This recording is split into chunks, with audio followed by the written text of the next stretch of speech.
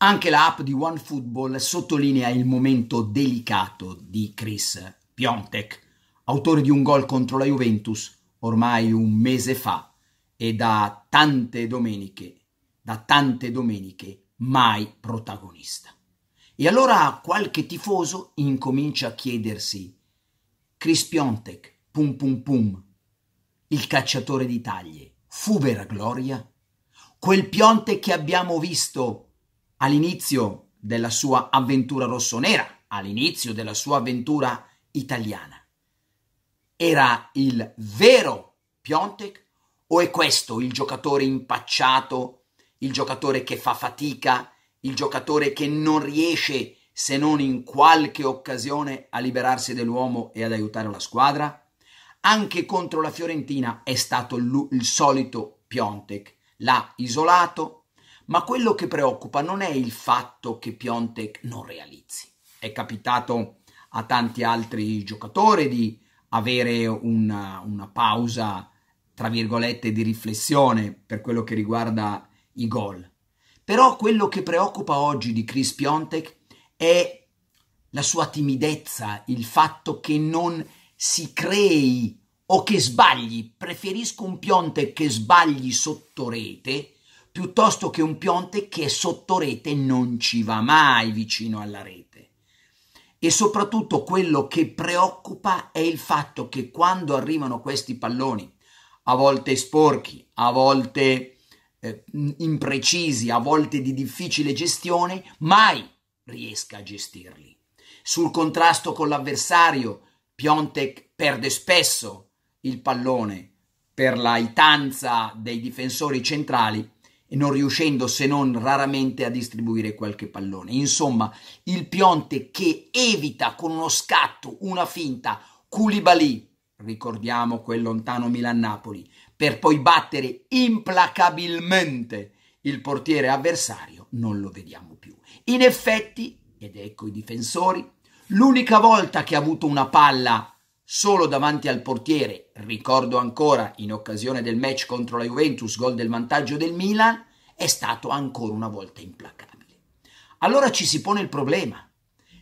Poco servito, servito in poche verticalizzazioni per lui che dice però Gattuso deve cercare di più la profondità, momento di involuzione di Piontek. Ma questo momento di involuzione, ripeto, preoccupa meno, il Milan eh, di, cerca di realizzare gol con altre, alt, con altre vie, ma quello che oggi ci si pone il problema è il centravanti del futuro, è l'implacabile centravanti che serve al Milan per la prossima stagione e per le prossime stagioni?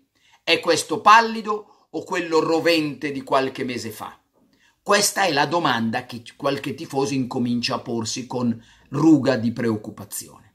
Io direi che vorrei dare il mio giudizio. Eh, in effetti anch'io non sono contento della gestione in generale. Vedo troppi palloni persi, vedo troppe, troppe eh, situazioni nelle quali lui non entra da protagonista potente, veloce, il solito cutrone dà sempre l'impressione di più di esserci sul pallone, pur nonostante anche lui in questo momento non sia fortunato sotto rete, avendo poche occasioni non solo di tirare, ma di, di giocare.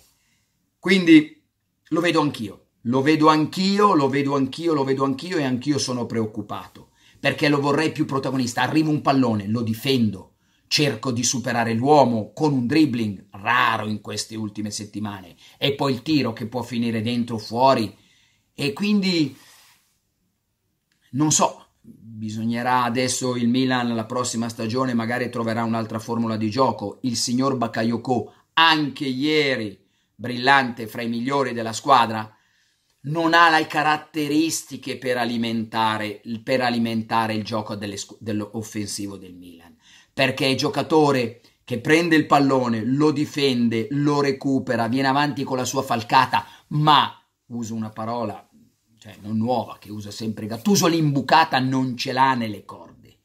Bakayoko l'imbucata non ce l'ha nelle corde. Io sogno un Milan, Ambrosini, Gattuso, Pirlo, Bakayoko che sì e un qualcuno.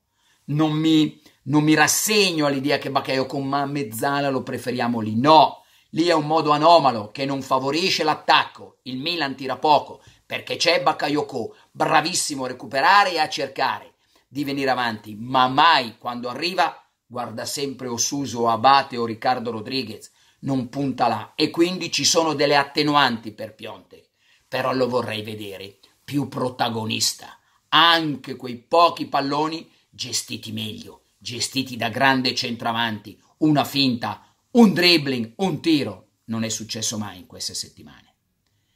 Se vi è piaciuto questo video, un po' preoccupato, mettete il vostro like e iscrivetevi al canale YouTube di Carlo Pellegatti.